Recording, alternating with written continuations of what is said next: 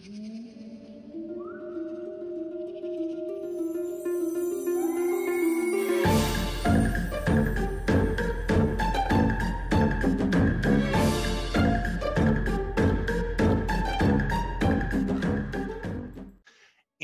any order of reference that it has received.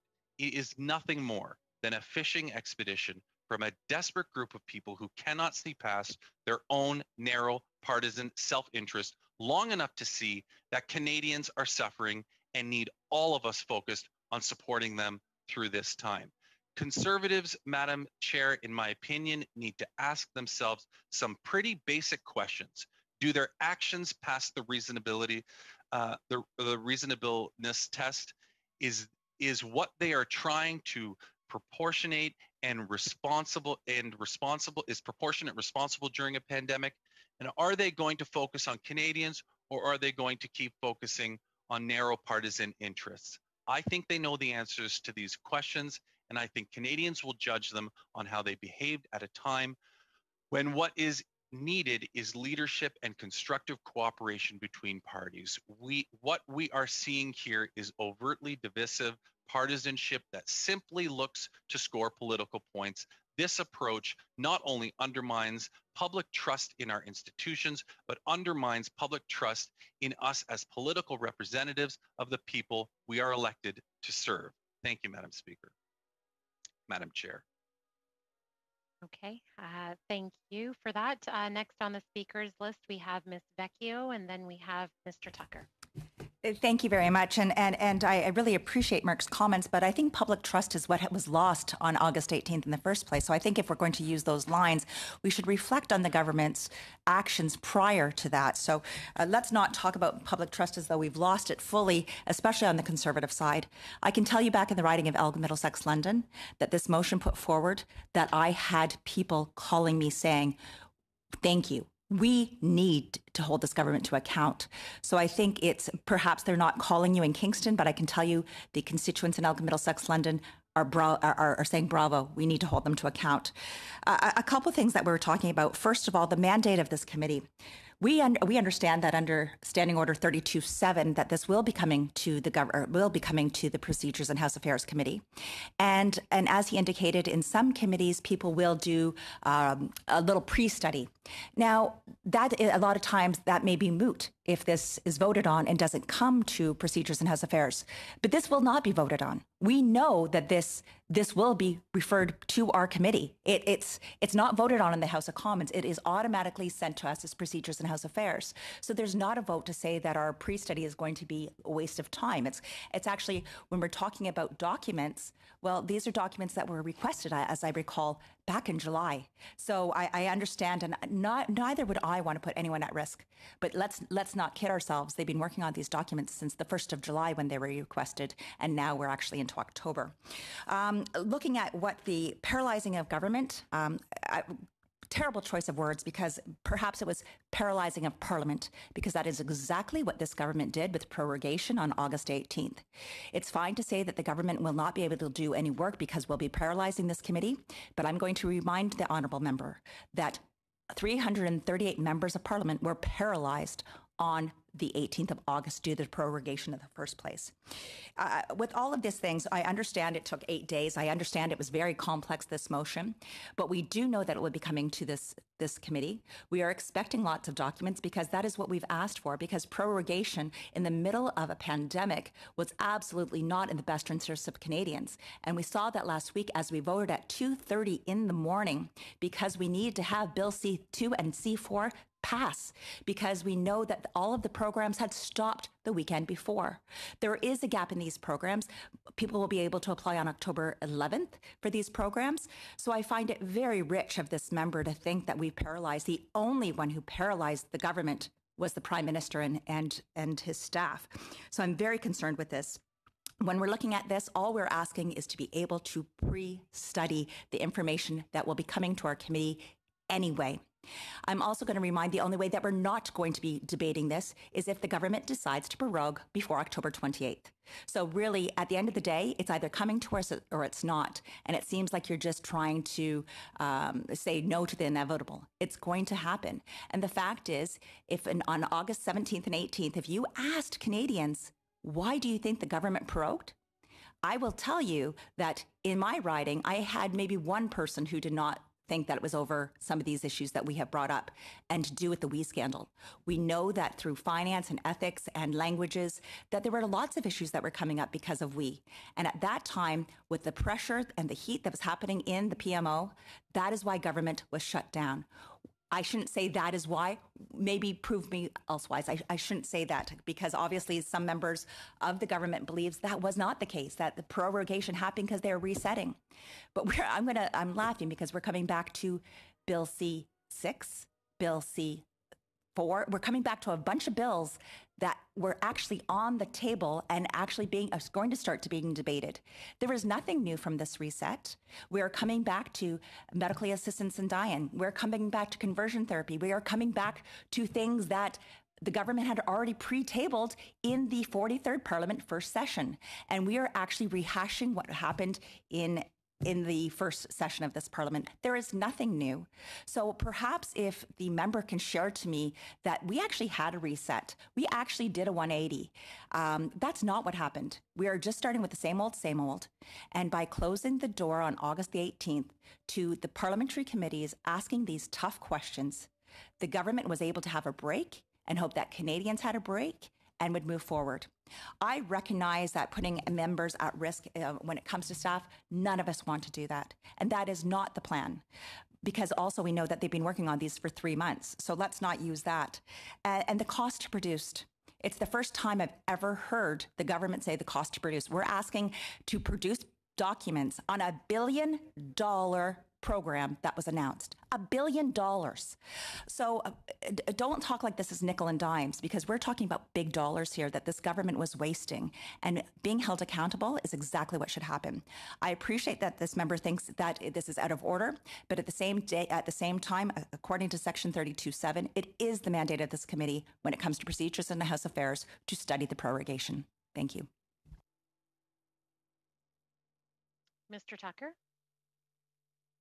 Yes, thank you very much, Madam Chair. Um, I, I, have some deep concerns, and I think the people of Saskatoon have deep concerns over the cost associated with this pandemic um, and some of the ethical lapses that this government has made. And that's what the essence of this motion is, is to study the procedural move of proroguing Parliament. This is our committee. We're a procedural committee. We should be studying the reasons for, and that's why 32 subset 7 will tell us or will direct us to do that study, and we're asking for a pre-study. I think Canadians would understand that. I take offense that the Liberals now say that the cost is a consideration.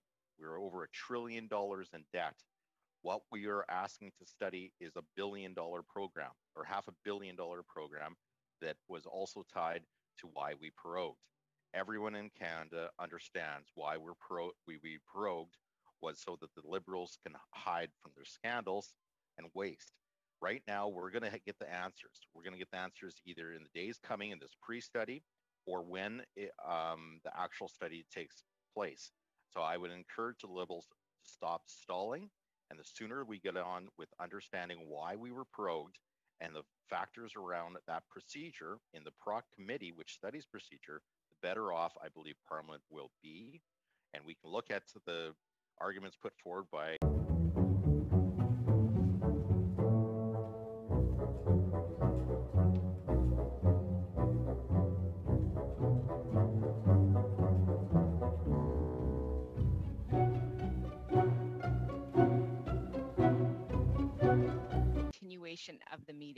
It is to continue to actually have uh, a meeting today on Ms. Vecchio's motion. That's, We've been called on another motion, uh, which has brought us here. So we're disposing of that motion. That's the 1064 motion. Once that is disposed of, then we will move into consideration of Ms. Vecchio's um, Ms. Vecchio's motion. And I would be, I am prepared to to bring my ruling, and then uh, we can proceed. Thank you.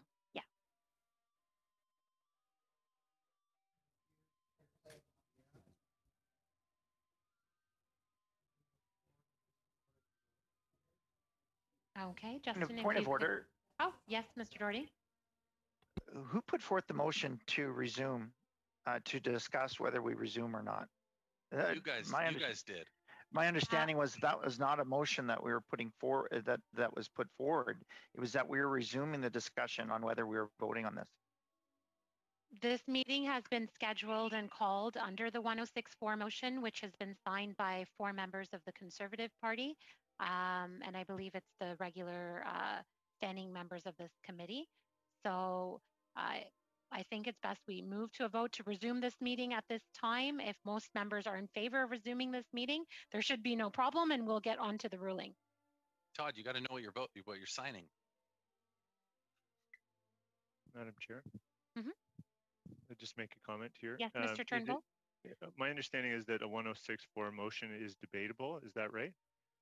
It is debatable, and that's why I allowed there to be debate on that motion. Perhaps I, I, I should have made that clear. Um, this 1064 motion is the first time maybe many of us are uh, entertaining this motion, and so I have gone over it with uh, with procedural advice from the clerk as to how this process uh, would unfold. And so the appropriate steps to take would be to first uh, discuss or bring bring that motion uh, well, we've come on that motion and then allow debate on that motion if the members choose to debate that motion. And then uh, at that point, um, there would be consideration of that request that has been made by the four members um, that have signed uh, the letter to bring this motion, to bring this committee today, uh, this meeting today. Uh, and then if that passes, we would resume to consideration of Ms. Vecchio's motion. At which Okay. case you Point would of order. start it, at which case you would start it off with your ruling. Yes, at which case I would start off with my ruling. I'm prepared Point of to, order. to do that. Yes, Mr. Madam Chair. Doherty. Mr. Doherty. mhm. There was no motion in the letter. The purpose was to resume the debate on the motion that was put forward. Am I? Is, is- isn't that correct? Um, Mr. Doherty, uh, we through that letter you invoked uh, Standing Order 1064, and so through that, that that is why we're in this procedural, uh, having to go through this procedural step. But um, Mr. Vaive can definitely explain it to you if you think that um, it might clarify. Um, Madam Chair and members of the committee, uh, essentially the way Standing Order 1064 works, um, upon receipt of a request from four members, a meeting is scheduled, and today's meeting is that meeting that was scheduled. Essentially, the first order of business is to discuss whether or not the committee wants to, um, in this case, resume consideration of Ms. Vecchio's motion. Um, so that's essentially the first phase or the first step in the process. Uh, that's something that the committee has been doing um, for the past several minutes now. Uh, and without anybody else wanting to talk, it, one of the options open to the committee is to now move to a decision whether or not, in fact, they want to resume consideration of that motion. Um, so that's sort of the, the stage that we are at uh, right now. Thank you for the clarification. Okay, um, and since the recorded uh, vote was was requested, we can move to that recorded vote now. Can you have the, can you say the entire motion out though on what we are actually voting on specifically, just so that we have it on record, please? So, Madam Chair, um, the question would be, shall the committee resume the consideration of Ms. Vecchio's motion? And I'll proceed now to the roll, to the roll call of the members. Mr. Alghabra, Yes. Ms. Duncan, Yes. Mr. Gerretsen, Yes. Madame Petitpas Taylor, Yes. Mr. Turnbull, Yes. Mr. Doherty, Yes. Mr. Lukiwski. Mr. Tochor, Yes.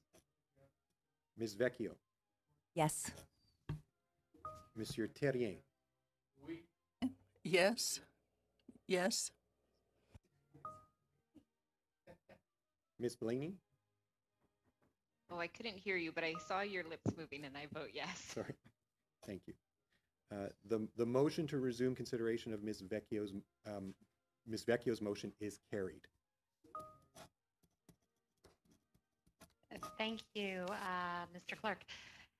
I know uh, that was procedurally very formal, but now we are on to consideration of Ms.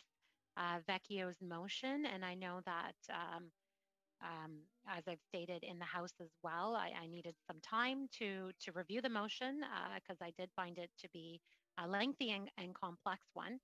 Um, but I'd like to begin uh, by ruling on the motion moved by Ms. Vecchio at the meeting of September 28, 2020.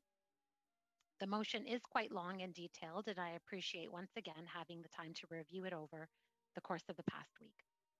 In assessing the motion's admissibility, my primary concern was to determine whether the motion falls within the mandate of this committee. Standing Order 108-1A states, standing committees shall be severally empowered to examine and inquire into all such matters as may be referred to them by the House, to report from time to time, and except when the House otherwise orders, to send for persons, papers, and records. Beyond this, the specific mandate attributed to this committee can be found in Standing Order 104 and 108.3a. Among these responsibilities, Section 3 of Standing Order 108.3a includes the review of and report on the Standing Orders procedure and practice in the House and its committees. More relevant to this case, however, is Standing Order 32-7, which provides that the government document explaining reasons for prorogation be referred to this committee. The section reads, not later than 20 sitting days after the beginning of the second or subsequent session of a parliament, a minister of the Crown shall lay upon the table a document outlining the reasons for the latest prorogation. This document shall be deemed referred to the Standing Committee on Procedure and House Affairs immediately after it is presented in the House. This is a new standing order adopted in 2017, and this is the first time that it has been invoked. My assessment in this ruling is based on the application, the timeliness, and the relevance of these authorities to the motion of Ms. Vecchio. As I read it, the motion contains two distinct parts, two distinct separate parts. The first clearly relates to the prorogation, while the second is more focused on the inquiry of the We Charity and all its entities with relation to the Canada Student Grant.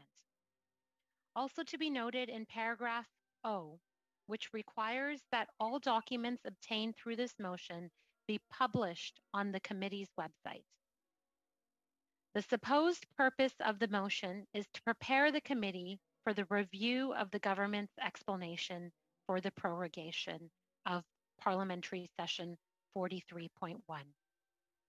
Herein lies the first flaw of the motion. At first glance, one may be quick to draw parallels to the committee undertaking a pre-study on the matter. However, in this instance, even undertaking a pre-study at this time would be seen as being premature. When a pre-study of a bill is commenced in the House committee, in a House committee or a Senate committee for that matter, it is done once the bill has been given first reading in the House of Commons but not yet reached the committee stage. This procedure allows the subject matter of the bill to be studied or referred to the House or Senate committee for general review, as opposed to a clause by clause study. In this instance, because the government has not yet tabled in the House a report outlining their reasons for prorogation, the committee is not in a position to have a base of reference from which to begin the study nor would it be appropriate to presuppose the outcome of the report. Therefore, conducting a study on the matter through this motion is not timely. Furthermore, even if it could be argued that through the creation of Standing Order 32.7, this committee now has within its mandate the issue of prorogation, and a subject matter study could be initiated before a response by the government is tabled in the House or prior to receiving an actual order of reference from the House, then the first parts of the motion appear to be in line with this objective. It states that several ministers, including the Prime Minister, will be called to appear.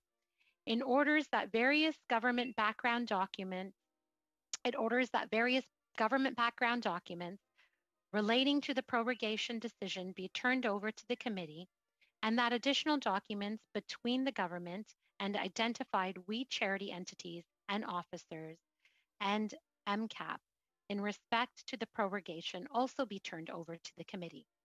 These documents are expected to be available to the committee by the time the government is required to table its justification for the prorogation towards the end of this month. Although I still find this motion to be premature at this time, I can agree with the basic proposition as articulated by several committee members that the automatic referral to the Standing Committee on Procedure and House Affairs, referenced in Standing Order 32.7, places the government's stated reasons for prorogation within the mandate of the committee, and that the committee is empowered to look into the government's reasons for prorogation. Paragraph A through D make a direct connection to the issue. Insofar as that as that link is made, the centrality of the prorogation reasons is respected. The witnesses and documents sought in these paragraphs are consistent with the effort to study reasons for prorogation. I have more difficulty in understanding the procedural connection of paragraphs E through N to possible reasons for the prorogation. Each paragraph, each paragraph orders, among other things, the production of papers, documents, and records from the government, including several ministers and the We Charity, its affiliate entities, and identified individuals. While the request for this material is an exercise of a committee's power under SO uh, Understanding Order 108 1A, it is not clear to me that it is being applied in the pursuit of a procedurally acceptable mandate. This is an overreach. There is also the prospect of normally confidential, unredacted cabinet documents obtained through this motion, including in paragraph E, that would be published on the committee's website. In a political context, Arguments and inferences can be made that a connection exists between the government's decision to prorogue and the We Charity issue. However, as chair, I must examine the matter strict, strictly in procedural context. In this case, the proposed course of study must be centrally linked to the committee's mandate, to the reasons why the session was prorogued, Paragraph E through N do not establish that essential link. Unlike the first part of the motion, there is no direct association to these paragraphs to prorogation. Instead, they are focused on the We Charity and the Canada Student Service Grant. Consequently, I view these paragraphs as outside the committee's mandate and more in keeping with the mandate of the Standing Order Committee on Finance which was seized with these issues prior to prorogation. As such, I cannot find that this motion at this time and in its current form is in order, nor can I allow debate to continue on the motion. I would like to thank all honorable members for their attention to this matter.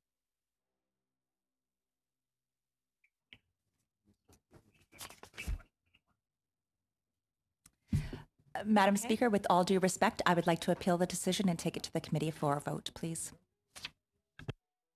Okay, uh, that is within uh, your right to do so. Um, Mr. Clerk, if you could help us with the process. Mm-hmm. Yes, and again, Madam Chair. I know the clerk always does this, but if he could very clearly let us know what we are voting yes and no on. Yes, I will. Um, the question before the committee now is, quote, shall the chair's ruling be sustained?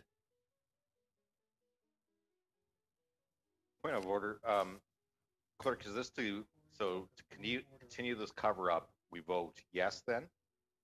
Clarification? I, I guess Like you're Uh, asking, the point of order. that would be uh, difficult for the clerk uh, to answer in the way that question was framed.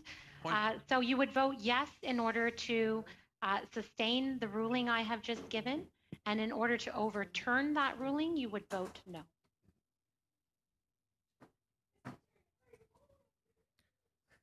Okay, is the committee ready for the question? Shall the chair's ruling be sustained? Mr. Alghabra, Yes. Ms. Duncan, Yes. Mr. Gerretsen. Mr. Gerretsen, Yes. Madame Petitpas Taylor, Yes? Mr. Turnbull, Yes.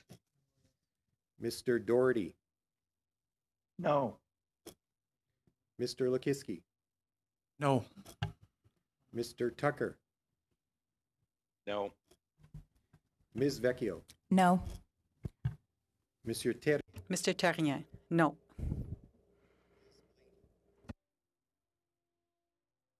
Ms. Blaney, Oh, I hear you now.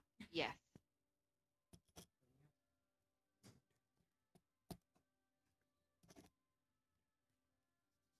Madam Chair, the ruling is sustained. Okay, uh, thank you for that. Um, what can happen at this point is uh, we can, upon consensus of the committee, uh, move into committee business if you wish, or uh, we could adjourn for the day. So, um, but in order to adjourn at this time, um, I, you know, I'd need consensus on that, I guess, at this point. Uh, but since we do have time, uh, within our regularly scheduled time up to one, we could continue on committee business. Uh, Mr. Doherty. I move to adjourn. Okay, uh, would you like a recorded vote then on that? Point of order. May I just ask for clarification from the clerk, specifically when there's no business on the agenda? What is the normal protocol? Just, just so that we know. Thank you.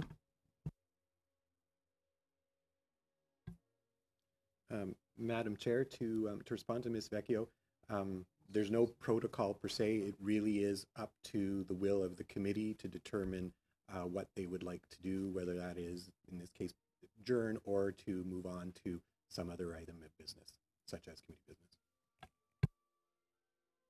A point of order. Yes, Madam Mr. Chair, I guess Davis. it's, uh, once again, a point of clarification, so my apologies. One thing we haven't discussed, and I, I would not oppose Mr. Doherty's motion to adjourn, but before we adjourn, Madam Chair, I would like to know if you have plans for the timing of our next meeting. If we could finalize the timing and location of the next meeting, I would think that would be in the, certainly in the benefit for all committee members.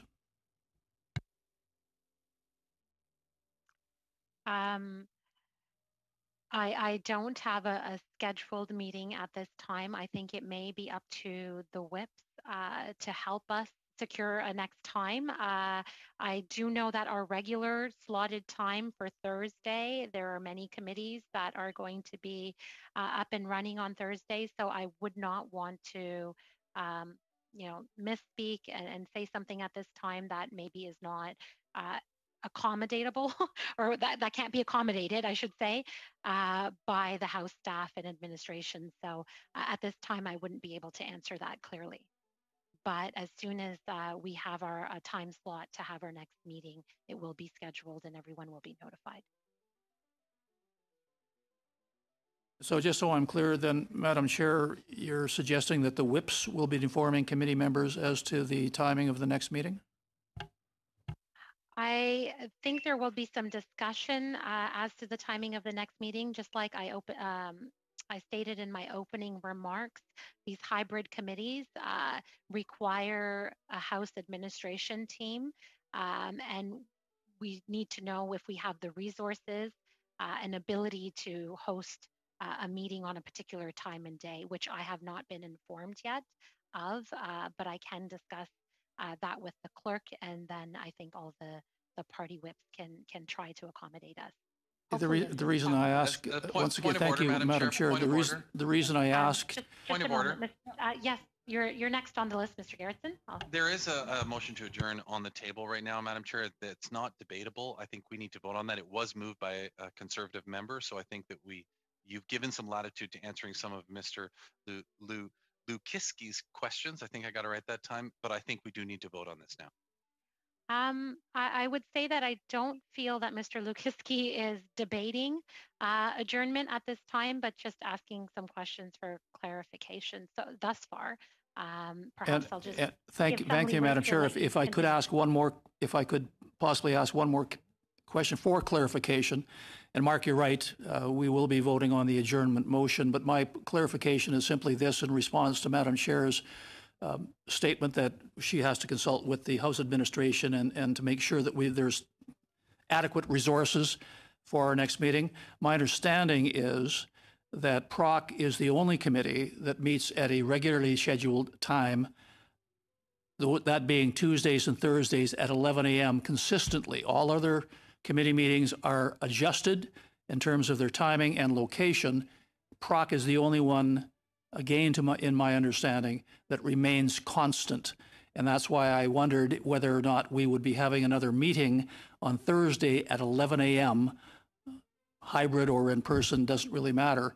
But since that is a constant, I just tried to get clarification whether in fact we will meet on Thursday. Um, unfortunately, my response to the question is going to be the same as I gave before. I'm just not aware at this time. I have to confer uh, with the clerk uh, and the team to to see if we can get back that that time slot uh, on this Thursday coming. So you will be informed as soon as possible about that. Um, okay, and let's resume to uh, the recorded vote on adjournment. Uh, The question is, shall the committee adjourn? Mr. Alghabra, No. Ms. Duncan, No. Mr. Gerretsen, No. Madame Petitpas Taylor, No. Mr. Turnbull, No. Mr. Doherty, Yes. Mr. Lukiwski, Yes. Mr. Tochor, Yes. Ms. Vecchio, Yes. Monsieur Terry, Mr. Therrien? Yes. Ms. Blaney. Yes.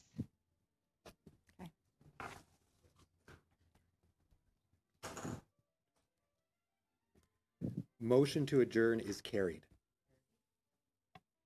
Okay, uh, so it looks like um, notice will go out for the next meeting and we should be um, meeting back on committee business uh, the next time we meet. Uh, and I call uh, this meeting for today adjourned. Thank you.